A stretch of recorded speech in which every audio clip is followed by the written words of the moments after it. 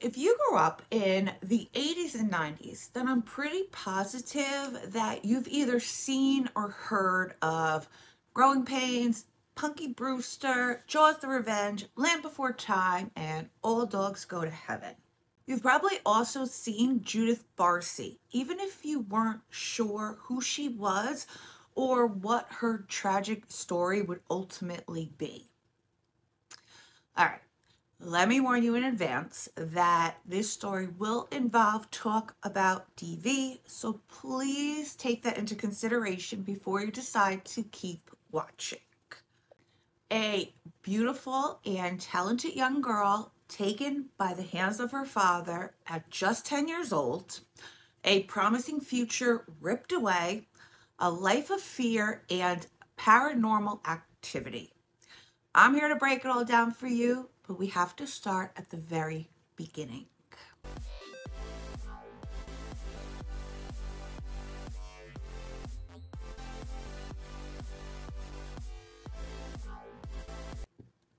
Hi guys, welcome or welcome back. Thank you so much for being here. It's so greatly appreciated. It truly, truly is. Before we get started, let me give you my usual disclaimer. This video is for educational purposes only. Please do not take what I say as fact. Please always do your own research and come to your own conclusions. Next, if you have not liked, subscribed, or commented yet, please consider doing so because it really helps me out. I really, really appreciate it. Okay, Joseph Barsi. He was born on November 26, 1932 in Hungary. Joseph's father had abandoned him when he was just a baby and growing up he never knew him. It is speculated that Joseph hated his mother for allowing his father to walk out on them. And his daughter would later come out to say that she believed this played a huge role in her father's issues with women and how he saw all women as nothing but whores. Along with this, Joseph also suffered from social rejection, bullying, and alcoholism later in life. And so when he would go to school, kids would make fun of him, always, always make fun of him. And my father had absolutely no self esteem. The only time my father really felt like he was a person was when he was drunk. After escaping the 1956 Soviet occupation, Joseph would flee from Hungary to France, where he would meet and marry his first wife, a woman by the name of Clara would go on to have two children together, a son named Barna in 1957 and a daughter named Aggie in 1958. Then in 1964, the family decides to move to New York. It was also during this time that Joseph's drinking problem would increase, along with the mental and physical ABUSC of not only Clara, but also his children. So at this point, this was all too much for her. So she packed up and she took her kids to Arizona. Joseph initially followed her to Arizona and begged Clara to give him another chance, promising that he would change. Not surprisingly, it wouldn't take long for things to go to shit once again. He used to threaten us all the time too about burning the house down and burning the house down if we left him or if my mother tried divorcing him that he would fall. She told me over and over again that she was afraid. And in 1969, after Joseph threw a cast iron skillet at her, she filed for divorce and she never looked back. The following year, Joseph would move to California and become a plumbing contractor. Fast forward to 1976, Joseph would begin hanging out in a bar in Los Angeles that was known to be a meeting place for immigrants. A waitress there by the name of Maria was also a Hungarian immigrant that had also fled during the Soviet occupation. Maria had gone through physical and psychological ABUSC at the hands of her father and she had dreams of becoming an actress and had finally been able to put her messy divorce behind her.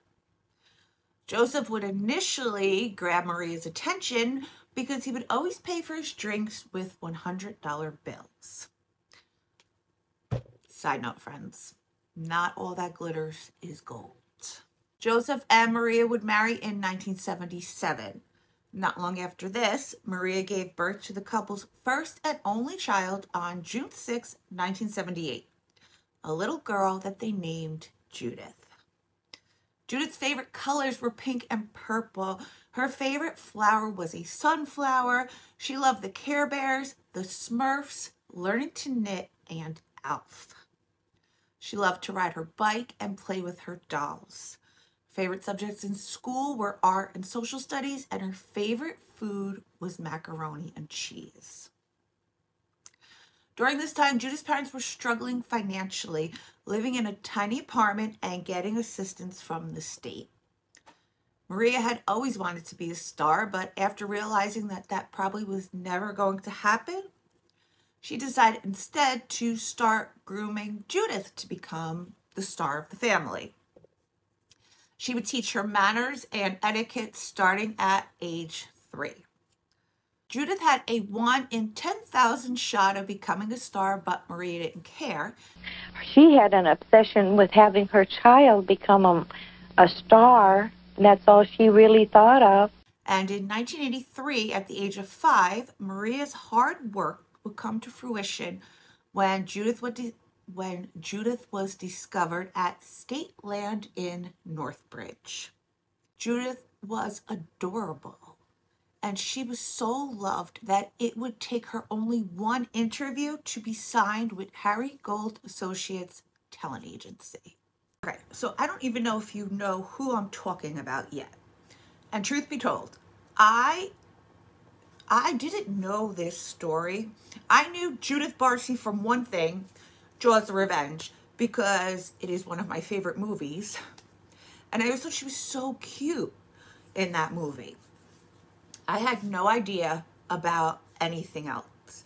And I was kid of the 80s and 90s, so I've probably seen her a hundred times and it just never, she never stuck out to me, except in Jaws.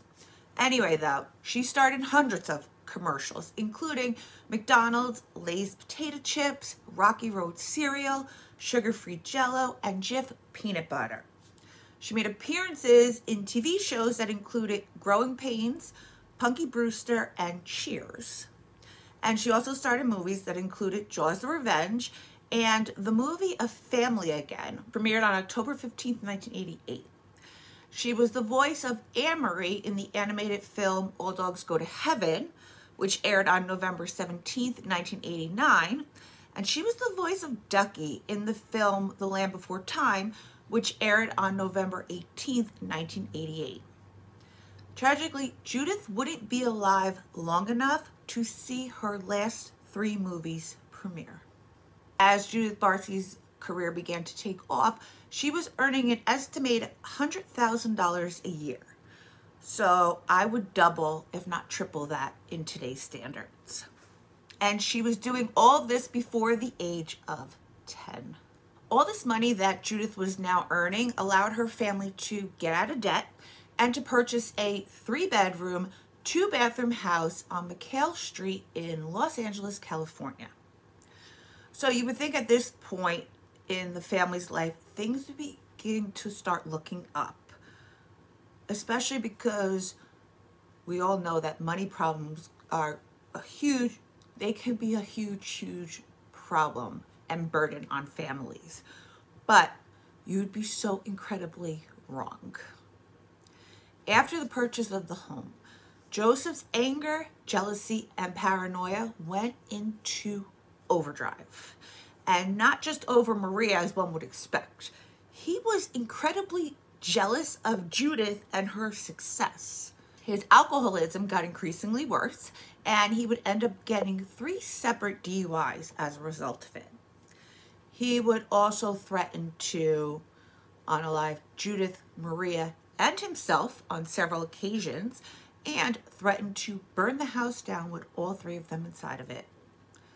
In December of 1986, Maria would report his to police, but after no physical signs of ABUSE were found, Maria decided to not press charges against him.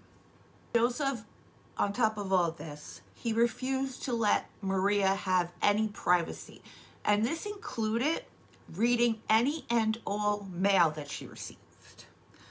So there's a story about a letter that Maria receives that's intercepted by Joseph. The letter was to inform Maria that a relative from Hungary had passed away. Joseph allegedly hid the letter from Maria so that she wouldn't leave and go to Hungary with Judith. Especially because, well, number one, he didn't want her going anywhere. But if she left and she went to Hungary with Judith, what if her family convinced her to not go back to him because he sucks? So it's unknown if Maria even knew that that family member passed away. Like if she ever even found out that the family member had passed. June 6, 1986, Maria celebrates Judith's eighth birthday at a bowling alley with a bunch of her little friends. While at the party, Maria confides in one of the mothers that Joseph isn't here because he decided he would rather stay home and get drunk. Another time, one of Judith's friends came by the house to see if Judith was able to come outside and play. A little girl by the name of Trixie. When she went to the door, Joseph answered and when she asked for Judith, he responded, Oh, that little ass, she's at a photo shoot.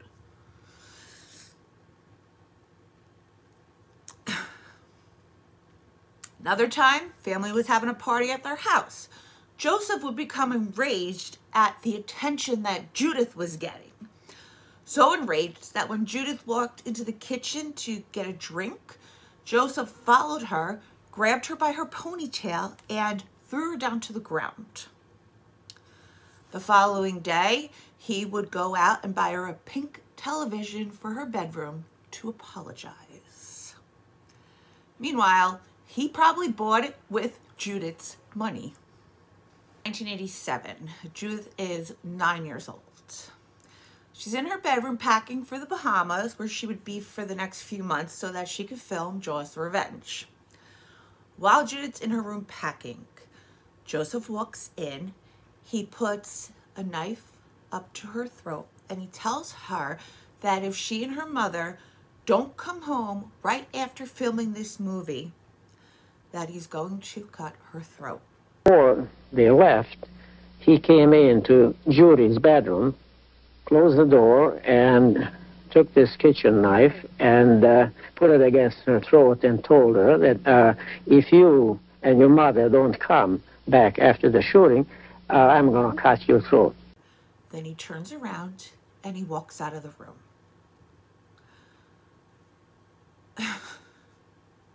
Maria and Judith leave for the Bahamas. Filming, Maria would begin to make friends with a lot of the women on the set.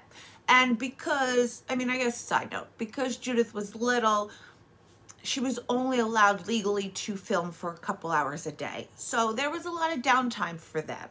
So she would get close with a lot of the people there. And as time went on, she would begin to open up to them about her home life. The women would beg her not to go back to him, and they tried to be there for her and they tried to help her through her situation.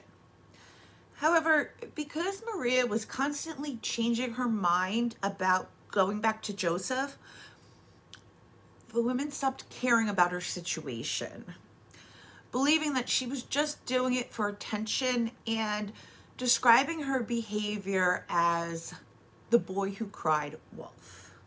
After she was just constantly crying out about how concerned she was and how threatened she felt, almost to the point where nobody took her seriously it was like, oh, here goes Maria again, just worried about uh, going home to this crazy person. After filming for the movie Wrapped, Maria decided to take Judith to New York with her to go see her brother instead of going straight home like she was ordered to do.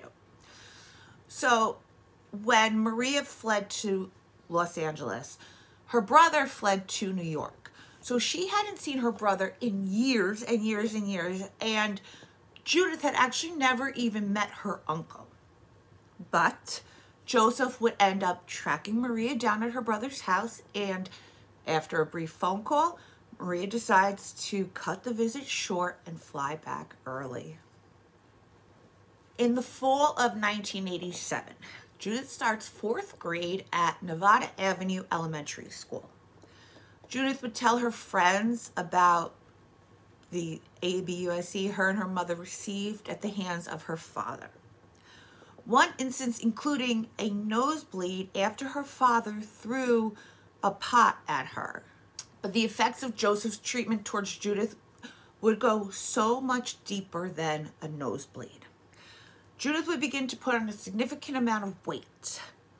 She began pulling out her eyelashes and she began pulling out her cat's whiskers. Then, during a singing audition for All Dogs Go to Heaven, Judith would break down in front of her agent, prompting Maria to seek professional help for her. And this breakdown is not described as like kids have a meltdown, it's described as an actual breakdown. So bad that it was a singing part, and it was so bad that she could not get through it. And the studio would actually go on to have somebody else sing that part. After meeting with Judith, the child psychologist would diagnose her with severe physical and emotional ABUSC. Whatever the psychologist saw was alarming enough for her to call CPS and file a report on Judith's behalf. When an investigator went to visit with Maria, she assured her that she had already rented an apartment and that she was in the process of leaving Joseph and taking Judith with her. Satisfied with her findings, the investigator closed the case. Okay. To be fair, this was the truth. Maria had rented a $700 a month apartment in Panorama City. The social worker has received a lot of backlash for closing Judith's case after what happened. Okay, first of all, we all know hindsight is 2020 number one. Number two, this social worker, I think she had like 20 more cases than she was supposed to have. She was incredibly overworked and she was looking to drop cases. Also, Maria assured her that she was leaving. She just was getting divorce proceedings underway, that she had an apartment, which she did. So look, it's very split. Again, hindsight is 2020 and I'm not a social worker, so I can't speak on social workers. I do know they're very overworked, underpaid, and underappreciated, like teachers. I guess everybody's opinion is their opinion on it. And I'm quite positive if she knew that this was going to happen, I don't think that she would have ever closed the case. But they have received a lot of backlash for it. Regardless of whether Maria's intentions were real or not, that would all come to an end when Joseph found out about her plans. As Maria began to slowly move things out of the home and into the apartment, one day when she was bringing over boxes, Joseph follows her. When he confronts her about what she's doing, she tells him that it's a friend's apartment and that she's just helping her move in. All right, so Maria gets caught. Now she knows, all right, she told him this story. He claims to believe it. Friends are telling her, leave anyway. And I was trying to tell her, you know, get out, go. The house is not important. Just take Judy and be safe. And she says, no, you know, they've worked too hard for the house. The house was theirs. And if anyone was going to leave, it was going to be my father. Well, she's scared to leave now because now she's like, well, even if I leave, he's going to know where that's going to be the first place he goes is the apartment. So friends are telling her, go to a different apartment, go somewhere else. She decides that she would just try to force Joseph to leave. So apparently Joseph is an incredible neat freak and he hated when things were out of place. So Maria decides to just stop taking care of the home and herself. She stops doing her hair, she stops doing her makeup, she stops dressing nice, and she stops cleaning the home. The home becomes an absolute pigsty. She let the house get so messy. I mean, it was disgusting. The first thing I said was, let's clean it up. She's like, no, no, because it'll drive my father crazy. That was were her own words. It's going to drive him crazy. It'll drive him out of the house if we don't clean up. So it was a pig pen, a living pig pen. But if she thought it was going to be that easy, she would be so dead wrong. Joseph would also begin seeing another woman. And we're not talking about a fling here. We're talking about a full fledged relationship. He would buy her gifts, he would take her out, and it was probably all on his daughter's money. It was also during this time that people were still trying to help Maria. One neighbor even offered her home to Judith and Maria as a safe home, but Maria declined. Okay, here we go. It's widely speculated that Maria didn't want to give up the three bedroom home or the money or the things and have to start all over again from scratch. If that's true, it's so incredibly sad because what good is stuff if you're dead? You can't use it anyway. And to think stuff was the only thing that kept her going back is absolutely tragic. One friend would come out to say that Maria confided in her that she didn't want to go into hiding because that would mean giving up Judith's career and everything that they worked for. Do with do what you will with that, I guess. To be fair, there are millions of reasons why people don't leave these kinds of relationships or these kinds of situations. And I'm never going to speak ill of the victims. But if this is the truth, it's so incredibly disheartening.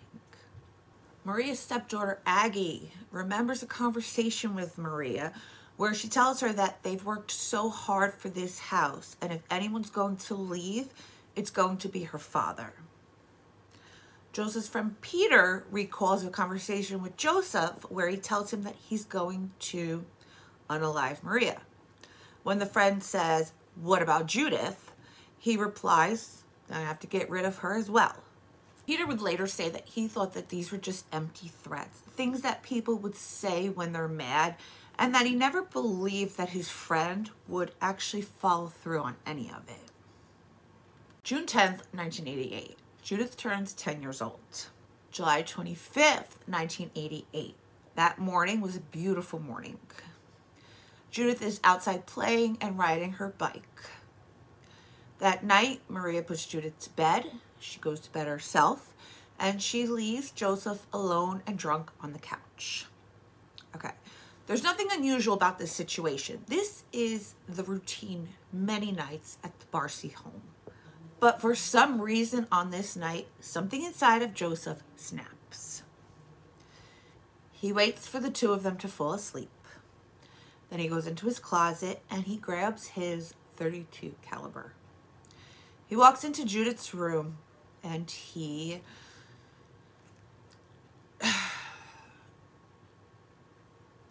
in the head.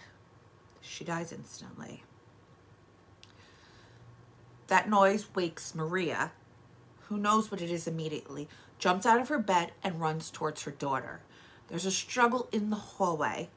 Joseph gets Maria to the ground.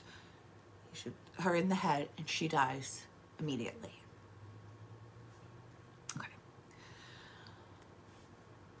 For the next two days, Joseph lives in the home with the bodies. He never moves them, he never touches them, he just lives in the home with them.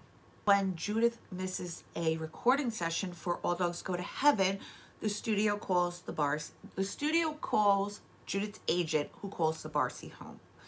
Joseph answers the phone.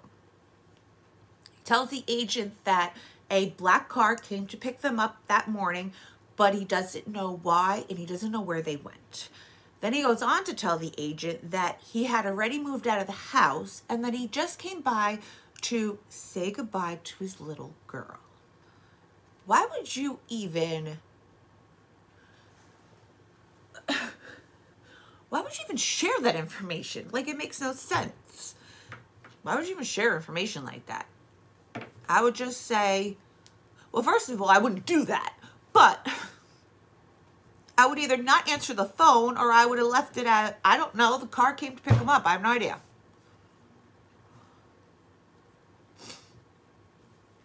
July 27th, 1998, at around 8 o'clock in the morning. Neighbor of the Barsis, a woman named Eunice, is outside watering her garden where she when she hears an explosion coming from the Barsi home. She looks and she sees smoke pouring out of the home, so she calls 911. After firefighters put out the blaze, they're able to piece everything together. That morning, Joseph poured some type of accelerant on both Judith and Maria and lit them both on fire. Then he walked into the garage and he unalived himself with his gun. On August 9th, 1988, Judith and Maria were buried next to each other in unmarked graves. It wouldn't be until 2013 when a number of Judith's loyal fans would all pitch in to purchase a headstone for Judith and Maria. As for Joseph, I don't know where he is. I don't care. Hopefully somebody tossed his body in a fire, watched it burn, then dumped him in a landfill. Fast forward. Judith's home is featured on a house flipping show called Murder House Flip, where the new owners of the home claim that the house is haunted. Then Tyler Henry from Hollywood Medium claims to be speaking to Judith during a reading for Tracey Gold, who is Judith's co-star on the sitcom Growing Pains. So Judith plays the child version of Tracey Gold on the show. And after Judith and Maria's death, Tracey put her funeral together and her sister did, Tracey's sister did the eulogy. So when she comes through, she comes through, she's saying Joseph did it, Joseph did it. She's saying, um, I don't blame my mother because my mother was trying to get us out of the situation. She talks about the fire and she thanks Tracey Gold for the funeral and the eulogy. Okay.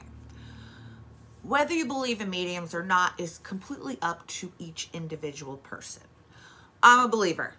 I was actually a non-believer until I went to one myself and they told me things that nobody could possibly know. Um, if you're interested, I would go watch it. If I remember, I'll link it down below for you guys. It's really, really good. Really. Joseph's son, Barna, would unalive himself in 1995, and his daughter, Aggie, would pass away from breast cancer in 1997. So just absolute tragedy all around for this poor family and everybody that is associated with the garbage that was Joseph Barsi.